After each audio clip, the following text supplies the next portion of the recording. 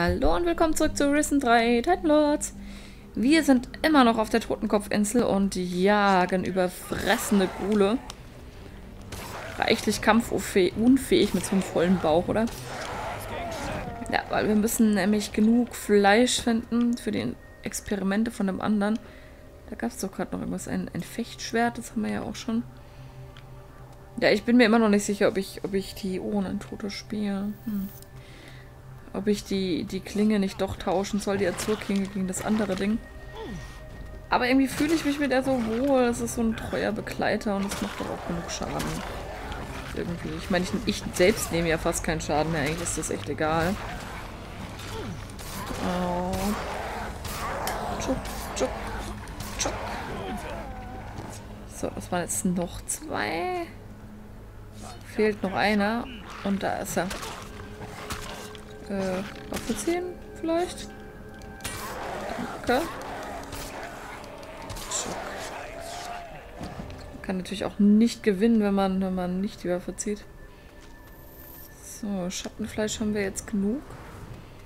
Aber wenn wir jetzt schon mal hier rumrennen, dann kann man sich auch ein bisschen, bisschen noch umschauen, was es hier sonst noch so gibt. Da unten ist noch eine Truhe, aber eine blaue. Warum auch immer die blau ist. Jetzt nicht. Ja, ich, wenn ich angegriffen werde, witzig. Wo, wo denn? Da, ein Skelett. Ich war doch weit genug weg. Das hätte Bones doch auch mal alleine machen können. Nicht? Bones, hast du Angst alleine? Jetzt interessiert es mich ja doch mal, warum diese Truhe blau ist. Aber vielleicht gibt es da einen plausiblen Grund für, dass nur was Blaues drin ist. Oder dass wir mit dem, sie mit dem Magiespruch aufbekommen hätten, vielleicht. Keine Ahnung. Maki, Wasser, Papageienflug. Naja, gut. So, hier können wir dann nachher runter segeln, so. Wenn wir denn auf diesem Weg wieder zurück wollen. Also direkt ins Magierdorf wollen. Oh. Archäbien, Muschel und eine Silbergrafe Wein. Gibt es hier noch Waffen, werden uns ja nach wie vor nicht angezeigt. Was ich auch nach wie vor ein bisschen doof finde. So, den Balken können wir natürlich nicht hoch. Vielleicht können wir ihn hoch und ich, ich kann es nicht. Da oben ist eh nichts mehr. Okay, dann sind wir hier auf der Ebene, wenn ich das richtig sehe, auch fertig. Jetzt können wir hier gucken, wo noch eine Ebene oben drüber irgendwie. Das machen wir lieber von da hinten. Was war da? Noch ein Klingenblatt. Sehr schön. Für entsprechende Tränke. So ein Vogel, den wir vertreiben. So, und jetzt kann man... Wo sind wir denn da unten lang? Da hinten lang? Da hoch können wir... Was mal hier hinten lang? Okay, hier geht es wieder runter. Okay, hier waren wir offensichtlich auch noch nicht, sonst hätten wir hier keine Skelette zum Töten. Also die letzten Schatten auf dem Weg zu Nekolot. Dass wir hier nochmal ein bisschen ja, ein bisschen Ruhm bekommen. Uns noch ein bisschen verbessern. Vielleicht noch ein paar Sachen finden, aber so verwinkelt wie das hier ist, übersehe ich wahrscheinlich sowieso wieder die Hälfte. So, machen wir an der Stelle mal wieder speichern. Hm. So, dann gibt es hier hinten, so wie das aussieht, auch nicht mehr wirklich viel. Ne? Nö. Also können wir jetzt hier die Treppe mal hoch.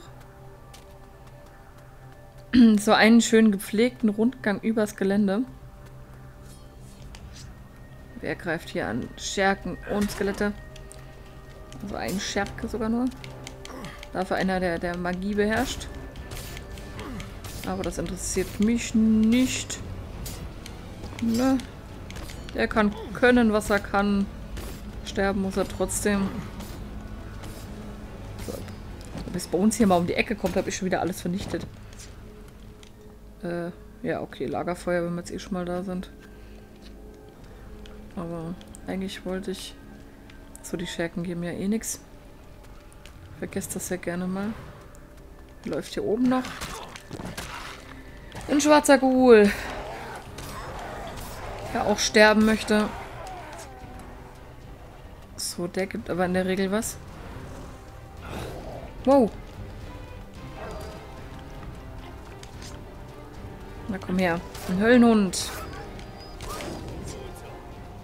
Okay, ich höre Bones zumindest schon mal im Hintergrund wieder. Wo ist hier der Ghoul abgeblieben? Ah, da ist schwarzer Ghoul. Was liegt da noch magisches? Jetzt nicht. Ein Skelett, okay. Wow. Wow, ein Schattenwächter. Doch nochmal eine Nummer anspruchsvoller. Die haben es ja stellenweise echt mehr in sich als sogar die Schattenlorde. Das ist nach wie vor ziemlich amazing. Ähm, darf ich den looten? Ja. Sehr schön. Die geben einem sogar auch so ein Herz. So, von da unten kam ich. Hier hinten gibt es nichts mehr. Müsste man dann hier oben lang. Das machen wir dann gleich. Vorher, ich würde sagen, wir fangen mal von... Wie sind wir denn jetzt gelaufen? Wir sind hier unten lang und dann hier irgendwie hochgekommen, ne? Versuchen mal von links nach rechts. Was, was ist denn hier noch Schönes? Ganz viel Lava. Ah, okay, das ist in die Richtung. Die wollte ich jetzt erstmal nicht. Ich wollte jetzt erstmal alles in die Richtung abgrasen eigentlich. Weil da geht es ja dann irgendwo nicht weiter. Also wir sind da hoch. Dann geht es hier nochmal hoch.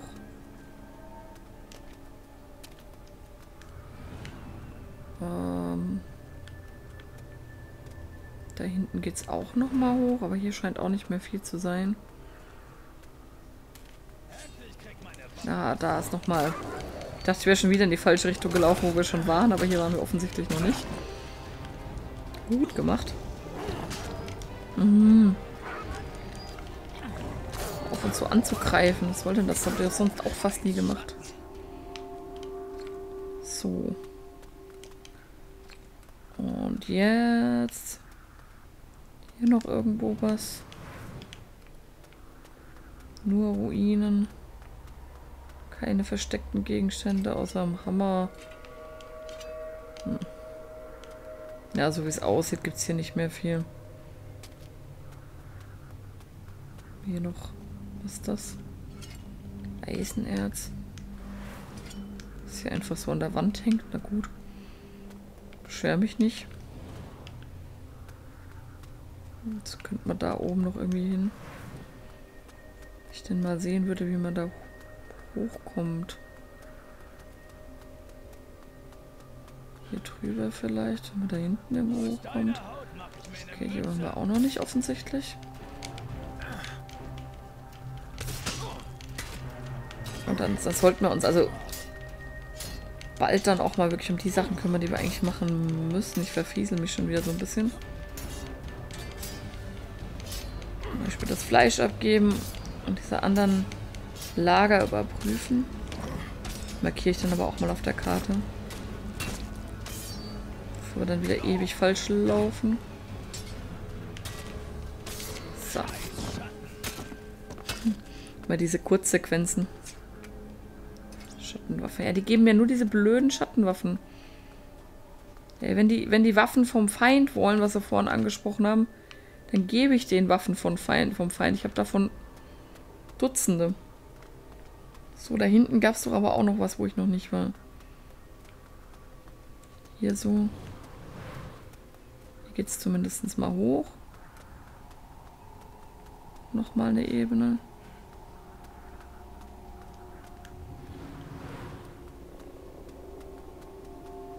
Hier noch irgendwo was. Wieder ein Schmiedehammer. Sich hier mit Hammern verteidigt oder was? Wow. Wow, ey. Wenigstens halten wir langsam echt was aus. Oh, ein Teleportstein. Okay, dann gibt es hier hinten vielleicht auch mal noch einen Teleporter. Geld. Okay, Gold. Gold. Gold. Der hat ein bisschen Geld verloren, ne? Ah, nein, nicht drin. Sondern hier die Schädelblüte. Gibt es auf der anderen Seite noch irgendwas? Gibt es auch noch... Ach, hier geht es dann den Weg entlang, okay. Okay, was haben wir denn hier noch Schönes? Jede Menge Dunkeltürer hier hinten noch. Im Eck verschanzt. Na kommt. Ihr wollt doch gar nicht leben. Ihr lebt doch eigentlich gar nicht. Ihr seid ja eh schon tot. Also diese Selbstheilung in Kombination mit Bones sorgt wirklich dafür, dass wir fast keinen Proviant und nichts mehr brauchen. Das ist schon, schon echt cool. So. Was sind wir denn jetzt hier? Ah, nee, ich wollte bei der Seekarte bleiben. Ah, okay, wir kommen dann hier quasi auf die andere Seite noch. Gar nicht so dumm. Wir könnten ja mal im Logbuch trotzdem hier das mit den Waffenlagern aktivieren. Wieder ist hier. Das ist aber der Auftraggeber, ne? Da ist hier ein Lager. Hier. Und da hinten. Also man könnte quasi hier so außen rumgehen, hier hoch. Und dann jetzt hier erstmal bleiben hier hinten, ne? Dunkle Ist ja so nicht verkehrt. Da liegt doch auch noch irgendwas. Handspiegel, okay. Kommen wir dann jetzt hier langsam immer höher. Okay. Ich würde sagen, es ist ziemlich öde hier. Wo bleiben denn die ersten Gegner? Feldspinnen. Also, spätestens hier hätte man doch jetzt mal wirklich, wirklich irgendwie schwerere Gegner bringen können, oder? Von mir aus auch, wenn sie nichts Neues programmieren wollen, harte Felsspinnen, die irgendwie mehr aushalten oder sowas. Steinfelsspinnen. Keine Ahnung, da gibt es doch bestimmt irgendwelche Variationsmöglichkeiten, die nicht so viel Programmierarbeit machen aber mehr EP bringen und einfach schwieriger zu besiegen sind. Nicht? Doch. Sicher. Hier nochmal ein Klingenblatt. Mit den Klingenblättern mache ich ja diese, diese Tränke für Nahkampf, ne? Mal schauen, wie viel ich davon habe, ob ich da überhaupt noch einen Trank draus machen muss. Wenn wir wieder in der Stadt sind, da gucke ich mal. Oh, Gold. Eisenerz. Jede Menge Kram, den ich nicht brauche. Na? Ach, da unten. Da kommt auch noch eins her. Also ich sehe schon, wir werden die ganze Insel noch kahl räumen, wenn ich so weitermache.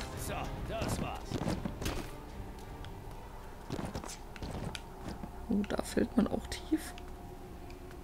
Hm. Das macht ja auch Spaß, das Erkunden. Das ist so schön, jetzt nochmal eine neue Insel zu haben, so kurz vorm Ende. Irgendwie habe ich gar nicht dran gedacht, dass die ja auch noch kommt. Ne? Da sehe ich schon wieder ein Spinneli. Spinn, Spinn. Totes Spinn, Spinn. Genau. Scheiß Spinnen.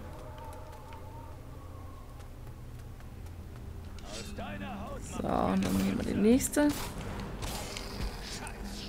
Die können gar nicht gucken, so schnell sterben die. Da geht es dann hoch wahrscheinlich.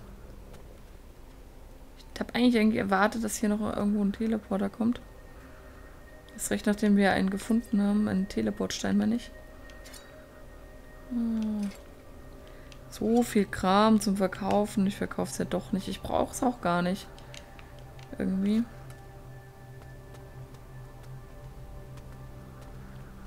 Irgendwie nicht, ne? Geht's hier hinten noch irgendwo lang? Ne, ne? Doch. Was haben wir denn jetzt hier? Ach nee, das ist nur hier, das Ende dann hier auch.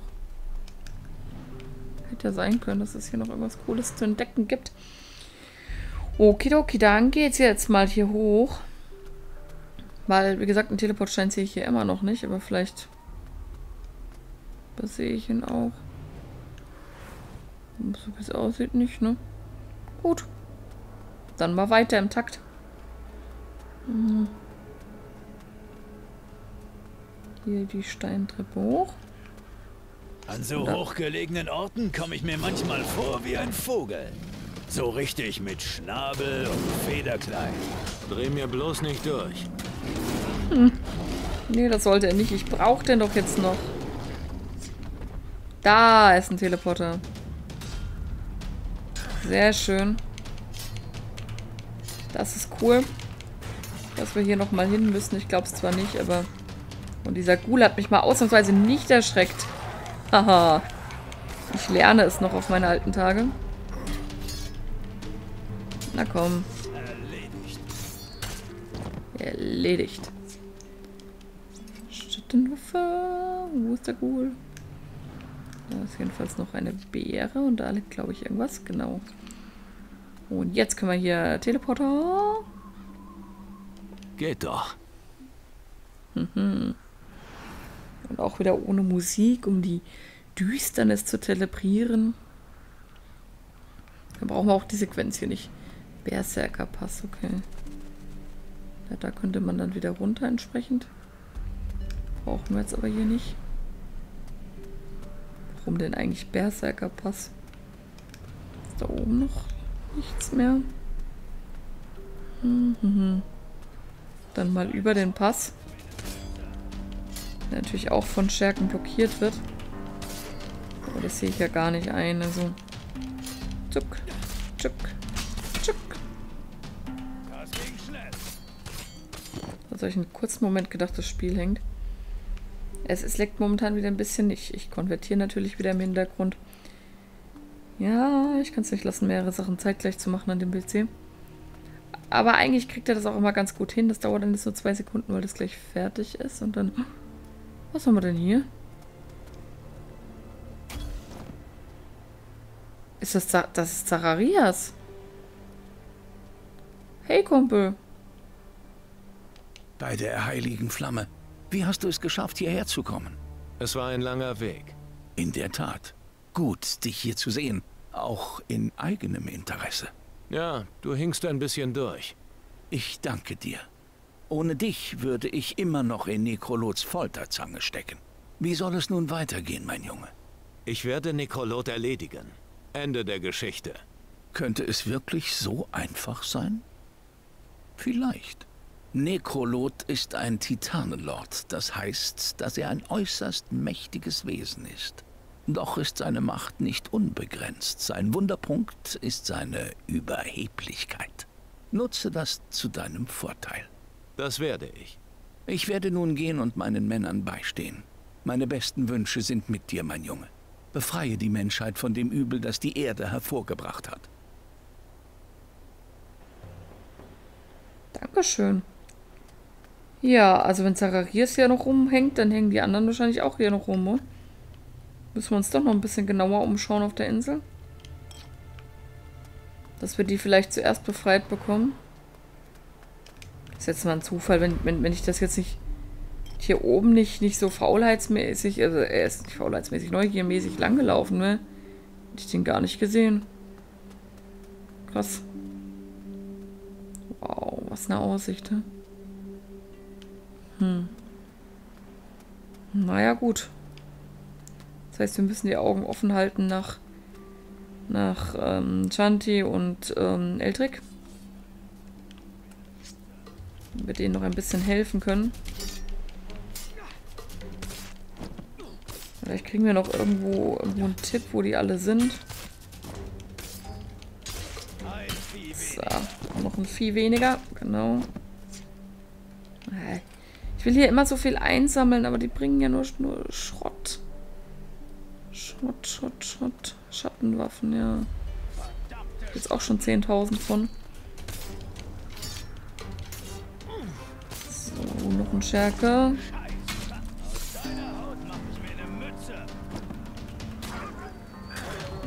Frage ich mich, wo die anderen sind. Vielleicht wirklich in jede Himmelsrichtung einer und in der Mitte finden wir dann den Nekrolot. Und wir da noch hier in was für Probleme ich damit in Kalador hatte, ey, es ist unglaublich. Wie sich das so entwickelt, ne? Also, ich finde das ja extremst toll. So. Jetzt hier mal wieder ein bisschen umgucken.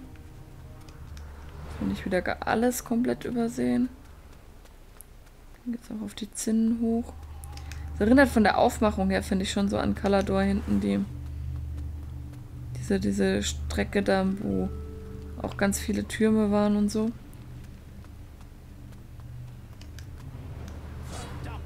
Und hier gibt es nochmal Schattenwächter. Oh, die machen mir schon verdammt Angst, die Dinger. Auch wenn es mittlerweile auch mal jetzt mit der Härtesteigerung und allem machen die nicht mehr so viel aus wie früher noch, aber die machen vergleichsweise immer noch krass viel Schaden. Also so im Vergleich zu allen anderen Scherken und Kram. So. Geht's jetzt hier nirgendwo mehr weiter? Ach was, nee. Hier doch bestimmt. Ah ja, ah, da oben dann runter, ne? Über diesen Burgturm. Mit noch einem süßen kleinen Lava-Golem. Wow.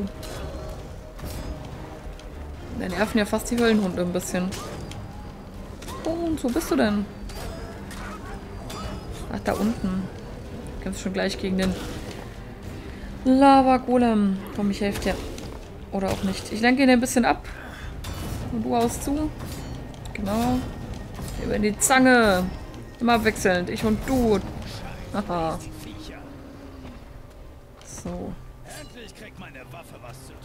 Ja, ja, aber jetzt lass mich doch hier erstmal ein bisschen looten. Himmel, bevor wir weiter gleich weiterkämpfen. Was ist hier hinten noch? Der Schmiedehammer und Spitzhacke, was wir eh schon genug haben. Gott sei Dank kann man hier unendlich viel tragen, ne? Hoch und ein Meißel. Ratten gibt's hier. Äh, Ratten? Ach so, ich dachte zwei Schläge lang. Offensichtlich nicht. So, dann mal hier noch ein, zwei darunter. Warte, da war noch irgendwas. Goldklee, genau. Okay. Ah, und da hast du schon noch eine Ratte tot gemacht bei uns. Sehr brav. So muss das laufen. Jetzt können wir uns hier schnell und gewandt umgucken. Läuft noch eine kleine Ratte rum. Ja, ja, ja, ja. Gut, aber ich sehe, die Zeit ist auch schon wieder fast um. Wir werden dann in der nächsten Folge auch gucken, werden die was mit den Waffenlagern machen. Hier uns langsam runterkämpfen und äh, hoffentlich dann auch Eldrick und ich glaube Shanti hieß sie, finden. Die Voodoo-Priesterin. Und natürlich auf dem Weg dort unten sehe ich noch ein paar Riesenratten töten. Und natürlich das Fleisch abgeben. Also wir haben viel zu tun. Ich hoffe, ihr seid das nächste Mal auch wieder mit dabei. Ich bin's auf jeden Fall. Und dann sehen wir uns dann. Macht's gut. Ciao.